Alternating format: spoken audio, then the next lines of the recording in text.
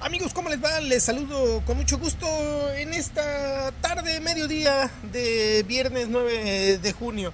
Todo está listo para que mañana en Estambul, Turquía, se juegue una final más de la Champions League.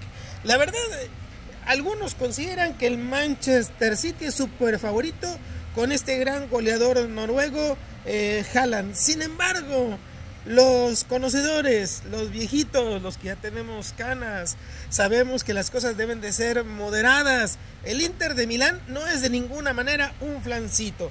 Le aseguro que le va a hacer un juegazo el Inter al Manchester City. A no ser pues que de plano sea una quinta maravilla el Manchester City y nos sorprenda a todos. Pero aguas, yo creo que el Manchester el Inter le puede hacer por ahí la travesura.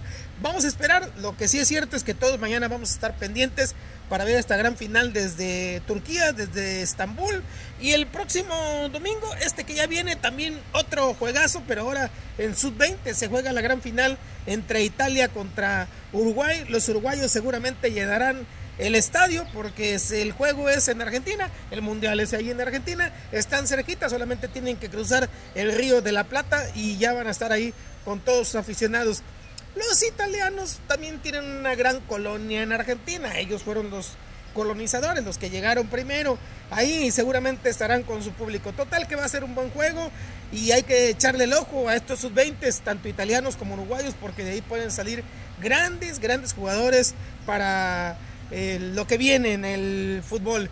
Y hoy está muy pendiente porque en la NBA se juega el juego 4 entre los Nuggets de Denver contra los Hits de Miami.